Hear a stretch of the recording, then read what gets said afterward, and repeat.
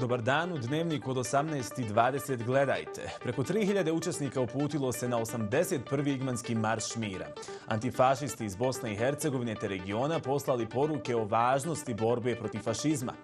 Crni dan za Jerusalim, nakon sinoćnjeg terorističkog napada na sinagogu u kojem je poginulo osam osoba, jutro su slijedio novi. Otac i sin preminuli su u napadu, a 13-godišnji napadač ubijen je na licu mjesta. Ni ruski napadi na ukrajinske gradove ne prestaju, ponovo na meti Bahmut i regija Donjeck. SDP-ovo prisustvo Osmorci na čekanju. Nakon jučerašnjeg glasanja u Federalnom domu naroda, Nikšić poručio da će najvjerovatnije tražiti nove partnere u vlasti. Bosansko-hercegovački glumac Saša Petrović preminuo u 62. godini. Javno se uz emotivne poruke oprašta od uspješnog glumca. U najvi toliko, vidimo se uskoro.